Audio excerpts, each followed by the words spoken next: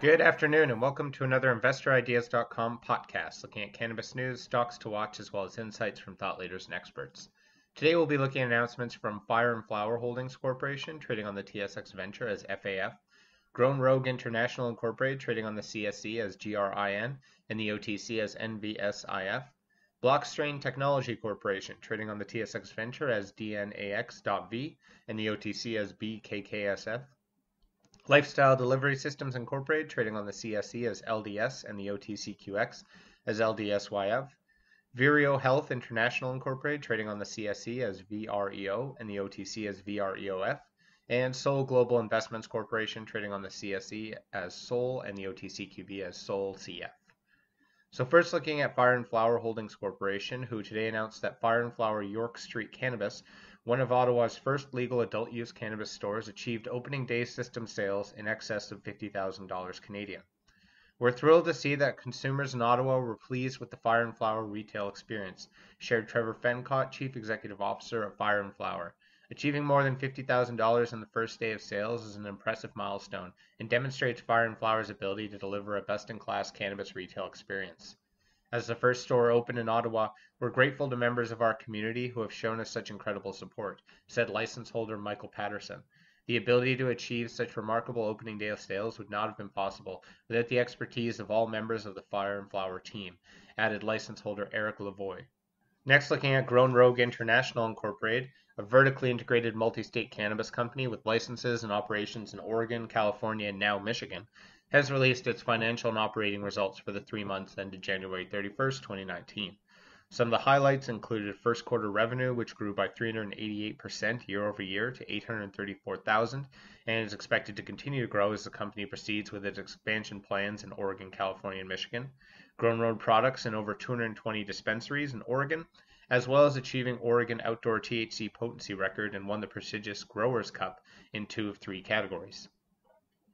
Our fiscal 2019 quarter one represents the first full quarter for Grown Rogue as a public company and marks the company's fifth consecutive quarter of revenue growth since launching first in the state of Oregon in late 2017, said Obi Strickler, President CEO of Grown Rogue. To have gained this brand recognition and sales traction in what is arguably the world's most competitive legalized cannabis market bodes well for our expansion into California and particularly the newly legalized market in Michigan. We've grown very quickly from controlling just three licenses in one state a year ago to assets allowing us to have 22 licenses in three states today.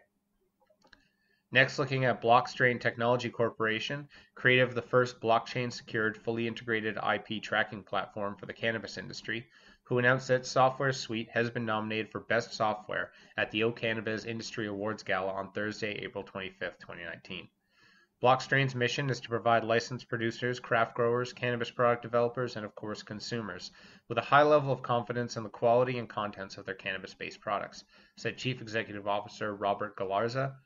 We take pride in having developed what we believe is a comprehensive best-in-class platform and are honored to be included as a nominee in the category of Best Software at this premier event presented by one of Canada's most highly regarded business-to-business cannabis conferences. The gala, which will be held during the O'Cannabiz conference taking place on April 25th to 27th in Toronto, is a celebration and exclusive event to recognize the industry's best professionals and products in 35 categories. Registered voters will be able to vote once per email address during the voting period, which closes at 12 p.m. Eastern Time or 9 a.m. Pacific Time on April 3rd.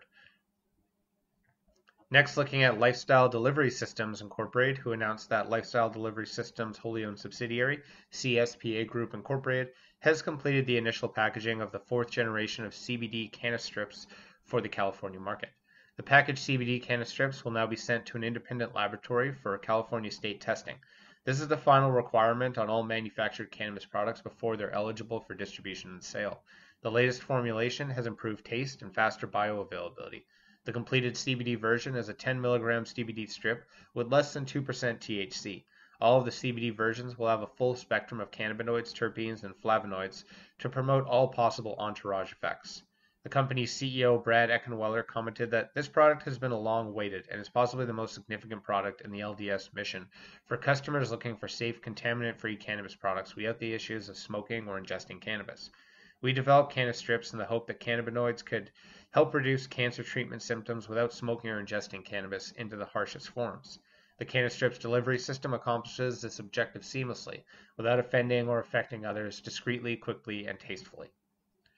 Next, looking at Vireo Health International Incorporated, America's leading science-focused multi-state cannabis company, who today announced the acquisition of Mayflower Botanicals Incorporated, a registered marijuana dispensary certified holder in Massachusetts.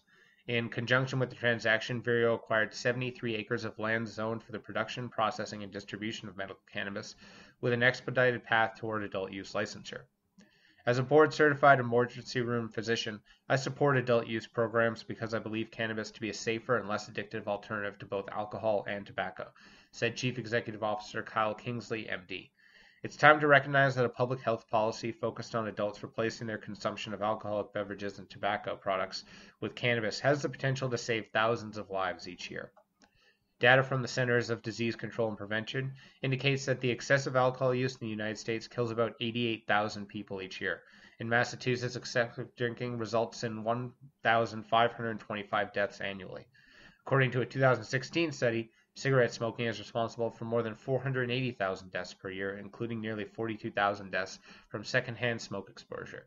In 2015, an estimated 700,000 adults in Massachusetts were regularly cigarette smokers.